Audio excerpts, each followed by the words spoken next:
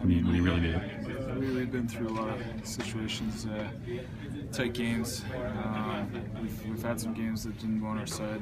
I feel like we've learned uh, learned a lot and got a lot of experience over the last bunch of years. Um, these guys uh, didn't quit, kept pushing, kept pushing. We came close so many times. Uh, uh, made a great play. Sharpie made a great play, moving his feet and getting open.